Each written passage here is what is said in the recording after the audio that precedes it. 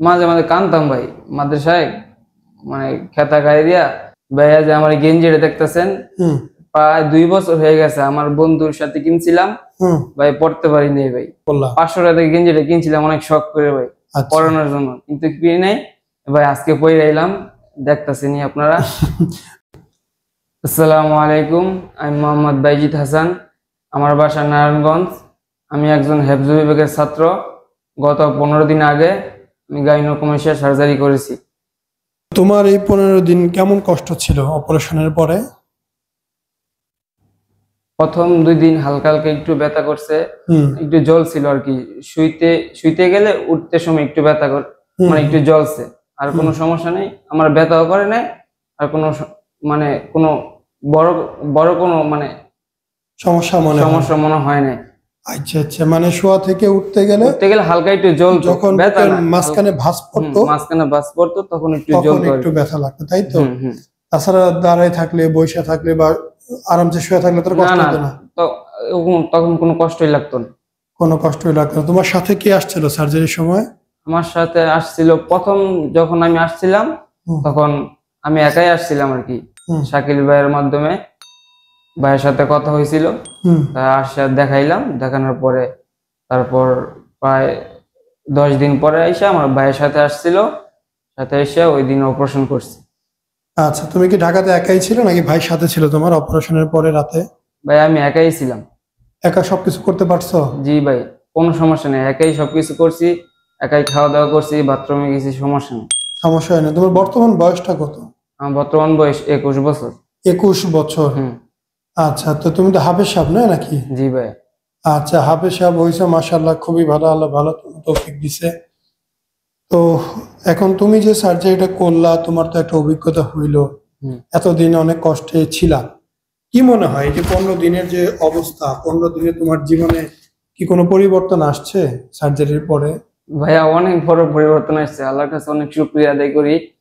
ভাইয়া কি পরিবর্তন আসলো আমাদের যদি একটু বলো। সব থেকে বড় পরিবর্তন তো ভাই এরা তো ভাই সবাই জানে বিষয়টা বুঝে। ভাইয়া যে আমার গেঞ্জিটা দেখতেছেন প্রায় দুই বছর হয়ে গেছে আমার বন্ধুর সাথে কিনছিলাম। ভাই পড়তে পারিনি ভাই। মানে দুই বছর আগে গেঞ্জি কিনে রাখছো এখন পড়লাম পাঁচশো টাকা গেঞ্জিটা কিনছিলাম অনেক শখ করে ভাই আচ্ছা। পড়ানোর জন্য। কিন্তু কিনে নাই।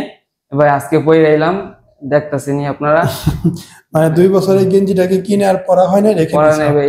এটাই ভাই বড় সফলতা ভাই। আচ্ছা এখন অপারেশনের পরে তুমি আরামসে গেঞ্জিটা পরে আরামসে গেঞ্জি পরে বুক ফুলে হাঁটতে পারি ভাই। কোনো প্রবলেমই হচ্ছে কোনো প্রবলেম হচ্ছে না। না, আচ্ছা আলহামদুলিল্লাহ খুবই ভালো বিষয়। এখন তুমি একজন মাদ্রাসা শিক্ষার্থী অবশ্যই এই সময় তো চাকরি বাকরি করো না তাই না? না ভাই এখন তো এই যে টাকা পয়সাগুলো কে কে দিছে তোমার? আব্বু আম্মু বা কে কীভাবে ম্যানেজ করলা? আমরা তো ভাইয়া মধ্যবিত্ত মধ্যবিত্ত লোক। মধ্যবিত্ত পরিবারের লোক। প্রথম এটা আমার আজ থেকে প্রায় দশ বছর হইব এই রোগটা আমি ভুগতেছি। আমি প্রথম প্রথম কিছু মনে করতাম না মনে করতাম যে মানে জানতামই না এটার যে চিকিৎসা আছে মনে স্বাস্থ্যবান ছিলাম তো আমি। তাই আমি মনে করতাম যে এমনি মানে শরীর স্বাস্থ্যের জন্য যে এই প্রবলেমটা দেখা দিছে। আচ্ছা তো কত কেজি কমাইছিল ওজন? ভাইয়া আমি প্রায় চোদ্দ কেজির মতো কমাইছি। চোদ্দ কেজি কমানোর পর কি দেখলা? কেমন কি মনে হইল? চোদ্দ কেজি কমানোর পরে দেখলাম জিনিসটা আরও বেশি ঝুলে গেছে। মানে আগে ছিল মোটামুটি একটু চ্যাপ্টার চ্যাপ্টার ছিল। তারপরে ওজন কমানোর পরে ঝুলে গেছে এক সাইড তারপর তো আরও বেশি প্রবলেম বেশি প্রবলেম হুম। আচ্ছা মাদ্রাসায় তুমি যে ছিলা তোমার বাস্তব জীবনে কোনো সমস্যার সম্মুখীন হইছো? মানুষের সাথে চলায় বা কেউ কখনো এটা নিয়ে দুষ্টামি ফাইজামি কিছু করছে? বা এটা মাদ্রাসা ছাত্র হুম। যে দুষ্টামি করে। দুষ্টামি করছে তোমার সাথে? সবাই করে। সবাই করে। কি বলে তারা? কি এমন বলে বা কি করে? যদি সবাইকে আসলে যারা ভিডিও দেখতেছে সবাই তো একই রকম। হ্যাঁ এই জন্যই বলতেছে তুমি খুলে মন খুলে বলতে পারো যে ভাই এরকম সমস্যা আমার হইতো। কি এমন প্রবলেম হইতো? বলতো তোর এত মেয়েদের মতো কেন? মানে মানে বন্ধু বান্ধব যেগুলো ছিল চার। পাঁচজন ওরা শয়তানি করতো যে এরকম। তা অনেক মানে মাঝে মাঝে কানতাম ভাই। মাদ্রাসায় মানে খেতা গায়ে দিয়া খালি চোখ দিয়ে পানি পড়তো আল্লাহর কাছে খালি দোয়া করতাম কবে যে এটা যাইবো তারপরে সিদ্ধান্ত নিলাম স্বাস্থ্য কমামো। কমানোর পরও এটা আর কি কমে নাই আরও বাড়ছে। তারপরে তো আমি একবার পাঞ্জাবি গায়ে থেকে খোলাই না পাঞ্জাবি। হুম সবসময় ডোলা ডোলা জামা ডোলা ডোলা জামা পরতাম। তো বন্ধুদের সাথে কারোর সাথে দেখা হয়েছে এর মধ্যে এই পনেরো দিনে? দেখা হয়েছে ওরা বুঝতে পারছে নি হ্যাঁ, দুই দিন আগে দেখা হয়েছে। আমি তো এখন একটু লুকাই আছি। তারপর ওরা দেখতেছি চিনা চিনা লাগে না। এটা কে? চিনা দিও ওকে। আমি তারপরে মানে ওরা বুঝছে কিছুটা হইছে কিছুটা হয়েছে বুঝতে পারছে বুঝতে পারছে কিন্তু আসলে যে কি করছে এটা ধরতে পারে না ওরা ধরতে পারে নাই। পরিবর্তনটা বুঝতে পারছে। ওরা বুঝতেছে আমি যে ওজন কমাইতেছি ওরা জানে। আচ্ছা। ওরা সম্ভবত ওরা মনে করতেছে যে আমি ওজন কমাইছি তাই আমার এরকম দেখা যাইতেছে। আরে অপারেশন করতে ধরতে পারে নাই। সবাই অবাক হয়েছে কি ওর মধ্যে এলাকার কয়েকজন বলতেছি কি রে? কিরম দেখা যায় কেতারে তাহলে পরিবর্তন লাগে। পরিবর্তন দেখা যায়। হ্যাঁ, কি যে করছে এটা আমাদের ধরতে পারে না ওরা জানে আমি ওজন কমাইছি তাই আমাকে এরকম দেখা যায়। হঠাৎ করে এরকম লাগতেছে। আশ্চর্য গল্প।